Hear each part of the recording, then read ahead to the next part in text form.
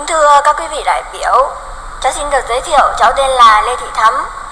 Hiện cháu đang là giáo viên tự do mở lớp dạy tiếng Anh tại nhà ở xã Đông Thịnh, huyện Đông Sơn cho các em nhỏ cấp tiểu học và trung học cơ sở. Trong nhận thức của cháu, được về tham dự hội nghị sơ kết 3 năm thực hiện kết luận số 01 ngày 18 tháng 5 2021 của Bộ Chính trị về tiếp tục thực hiện chỉ thị số 05 của Bộ Chính trị đẩy mạnh học tập và làm theo tư tưởng, đạo đức, phong cách Hồ Chí Minh cấp tỉnh hôm nay là một vinh dự lớn. Giữa hàng ngàn, hàng vạn người tốt, việc tốt, giữa biết bao tập thể và cá nhân điển hình đã góp phần vào sự phát triển đất nước, quê hương.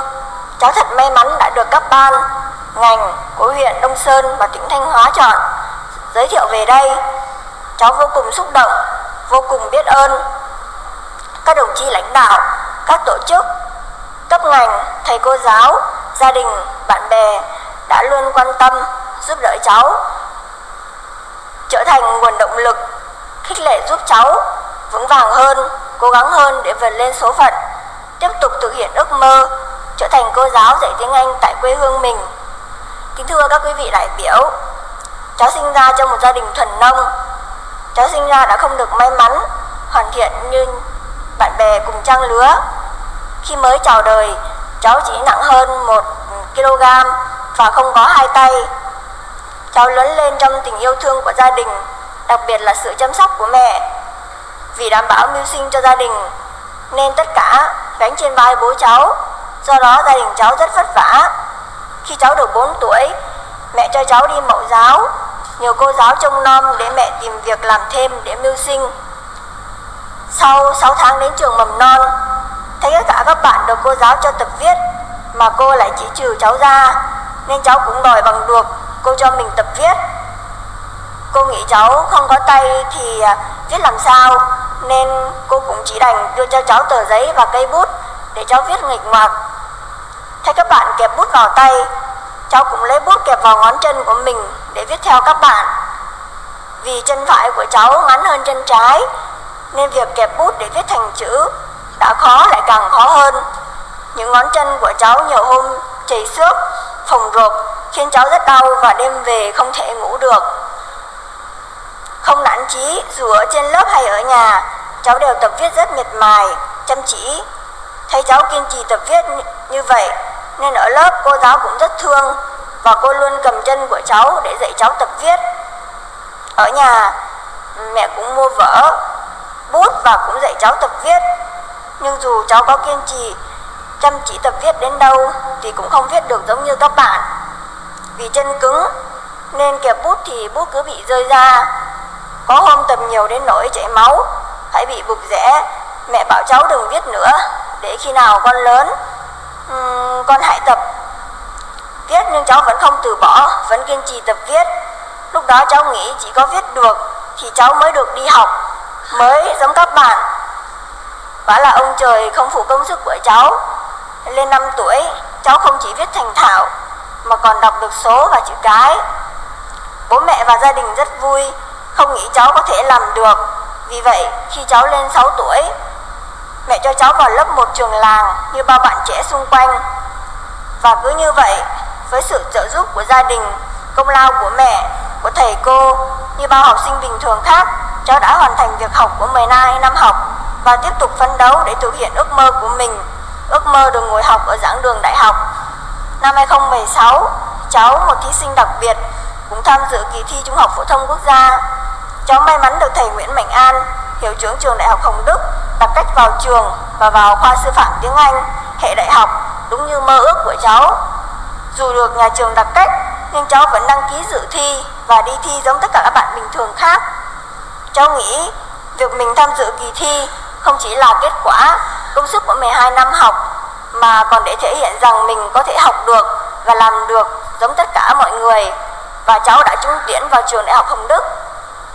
Là sinh viên của trường Đại học Hồng Đức, cháu được nhà trường và thầy cô, bạn bè quan tâm tạo rất nhiều điều kiện thuận lợi cho việc học tập, thuận lợi cho cháu thực hiện khát vọng trở thành cô giáo của mình. Thấy hoàn cảnh của cháu rất khó khăn, nhà trường đã tạo điều kiện cho mẹ cháu làm lao công ở trường, vừa là để đưa đón cháu đi học, vừa là có thêm thu nhập để góp phần ổn định cuộc sống của gia đình. sống giữa tình yêu thương của thầy cô, bạn bè, sự chăm sóc vô điều kiện của mẹ, cháu càng kiên trì, cố gắng vượt lên số phận để thực hiện ước mơ. Năm 2020, cháu đã hoàn thành 4 năm đại học và tốt nghiệp cử nhân sư phạm tiếng Anh. Trong quá trình học tập và rèn luyện tại trường, cháu đã nhiều lần được các tổ chức như hội đồng đội, đoàn thanh niên, hội bảo trợ người khuyết tật và trẻ mồ côi của huyện, của tỉnh và của trung ương biểu dương, được Bộ trưởng Bộ Giáo dục và Đào tạo tặng bằng khen vì đã có thành tích vượt khó vươn lên trong học tập. Đây cũng là những động lực tinh thần giúp cháu không lùi bước trước những khó khăn, thử thách trong cuộc sống, thực hiện ước mơ của chính mình. Kính thưa các quý vị đại biểu, sau khi tốt nghiệp đại học, cháu về quê mở lớp dạy tiếng Anh miễn phí, bổ trợ tiếng Anh cho các em gần nhà. Thời gian đầu, cháu mở lớp dạy miễn phí cho trẻ em trong làng. Sau này một số phụ huynh gửi con học thêm, nâng cao kiến thức nên cháu quyết định mở lớp dạy thêm tại nhà, rồi xin bố mẹ mua thêm trang thiết bị để thuận tiện cho việc giảng dạy. Với cháu, đó là một công việc thay lời cảm ơn của cháu đến bố mẹ, hàng xóm, bạn bè và thầy cô đã đồng hành và giúp đỡ trong suốt những năm qua. Dù có rất nhiều khó khăn trong quá trình nỗ lực, cố gắng của bản thân nhưng bù lại cháu nhận được rất nhiều sự quan nhận nhiều sự yêu thương, động viên quan tâm, giúp đỡ của gia đình, thầy cô, nhà trường, bạn bè cũng như sự quan tâm, yêu thương giúp đỡ của lãnh đạo địa phương, các tổ chức, các ban, ngành, đoàn thể và của tất cả mọi người xung quanh để để không phụ sự yêu thương quan tâm của gia đình và của tất cả mọi người. Trong quá trình đó, bản bản thân cháu đã định hình và quyết tâm rằng mình phải luôn cố gắng, không ngừng nỗ lực vươn lên, phấn đấu và rèn luyện thật tốt. Là người khuyết tật, tàn nhưng không phế, trở thành một cô giáo làng, đem tiếng Anh và kiến thức mình đã học được đến với các em học sinh ở quê. Và quan trọng, mình sẽ là người có ích, góp phần nhỏ bé của mình cho xã hội. Kính thưa các quý vị đại biểu, mặc dù thân hình cháu khiếm khuyết và nhỏ bé, nhưng mong muốn, ước mơ, quyết tâm và nỗ lực bản của bản thân cháu thì rất to lớn. Hiện tại, ước mơ có một lớp học tại nhà của riêng mình đã được hoàn thành, nhưng mơ ước lớn nhất của cháu là được đứng trên mục giảng, quan sát và giảng dạy cho học sinh trên lớp và được cống hiến trong một môi trường giáo dục. Cháu sẽ luôn hoàn thiện bản thân, luôn cố gắng trau dồi kiến thức, kinh nghiệm dù bản thân có nhiều hạn chế, nhưng cháu tự tin sẽ nỗ lực, sẽ tận tâm tận lực cống hiến nếu được trao cơ hội. Vì cháu nghĩ rằng trước khi mặt trời mọc là khoảng thời gian tăm tối nhất, tương lai đừng quên mình ở hiện tại. Cứ đi về phía mặt trời, bóng tối sẽ ngã sau lưng bạn. Bây giờ dù bạn đang đứng ở đâu, cũng đừng quên rằng bạn bản thân bạn sẽ luôn tiến về phía trước. Một lần nữa, cháu xin được chân thành cảm ơn sự quan tâm, giúp đỡ và yêu thương của tất cả các cấp, các ban ngành và của mọi người đã dành cho cháu. Một lần nữa, cháu xin được cảm ơn vì tất cả. Cuối cùng, kính chúc hội nghị thành công tốt đẹp.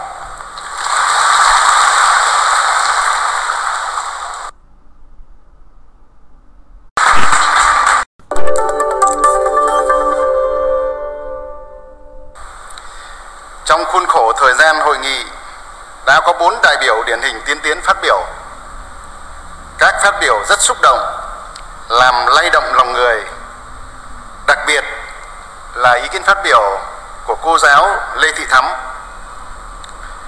Trong phát biểu của mình về nguyện vọng và ước mơ cao đẹp, đó là cô giáo muốn được cống hiến trên bục giảng trong hệ thống giáo dục công lập của nhà nước.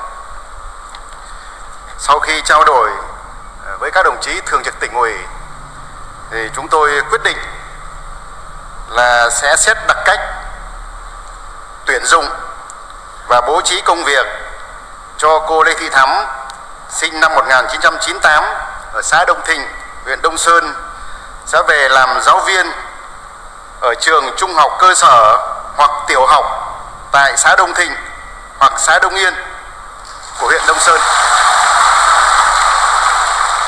Và thường trực tỉnh ủy giao cho đồng chí Lê Trọng Thụ, bí thư huyện ủy, chủ tịch ủy ban dân huyện Đông Sơn sẽ phối hợp với Sở Nội vụ để thực hiện cái việc tuyển dụng và bố trí công tác cho cô giáo Lê Thị Thắm ngay trong năm học năm học mới tức là ngay khi chúng ta khai giảng năm học mới 2023 2024 xin được ờ, chúc mừng cô giáo Lê Thị Thắm.